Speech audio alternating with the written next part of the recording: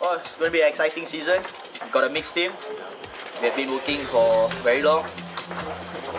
We have with friendlies, trainings. Our coach has put in a lot of effort, as like our players. So it'll be a very interesting season.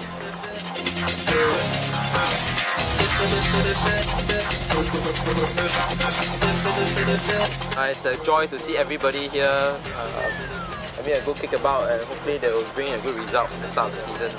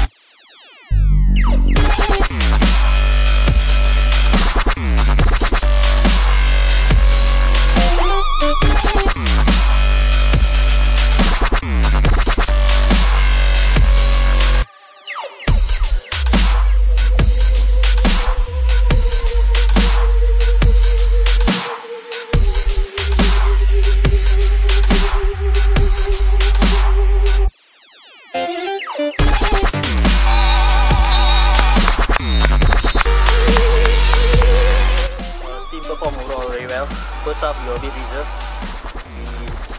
We didn't make use of opportunities, uh, but we came back strong. We scored five goals in the second, uh, four goals in the second half.